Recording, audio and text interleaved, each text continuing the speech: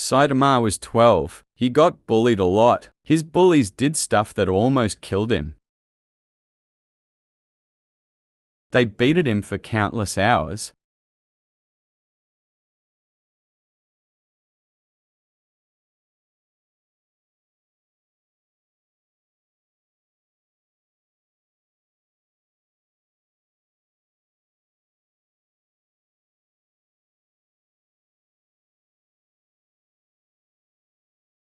They left Saitama at midnight in the forest while they went home.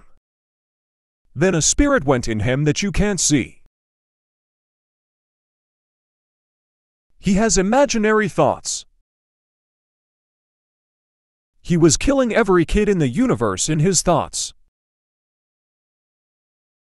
But then he thought of him in the forest, but those thoughts of the spirit. Then he woke up in the forest wanting to kill. He was whispering every kid's name in the universe. Then he woke up feeling powerful, but he wanted to kill badly.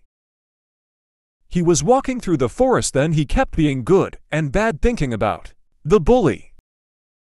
He got home went to bed he was really strong and had a suit on feeling so powerful, like he could shake the universe. His skin was different. Then his hand lifted up the bully. Then he shot a powerful fist bolt.